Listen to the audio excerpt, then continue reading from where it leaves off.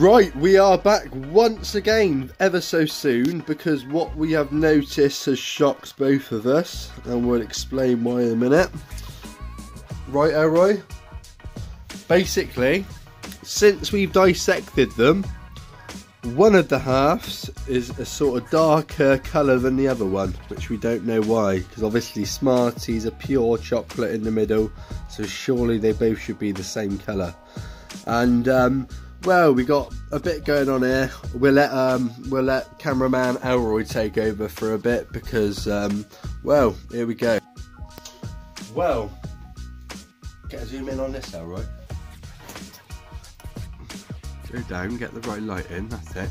These, what we've left in the bottle with water, have actually turned into a sort of stone sort of type material. Um, we're not quite sure yet, but look at that. Look how rocky that looks, isn't it, Elroy? Mm. Fucking hell. Well, all we can do now is wait a couple of weeks, drain this off. We'll obviously dissect one of these, talk about the texture, why and how we're doing it. And um, just pause it right there, Roy.